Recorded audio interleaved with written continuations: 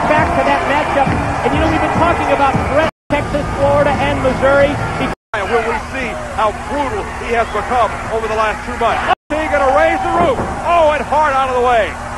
Do you expect anything less? That's going to be a disqualification. Bret Hart gets.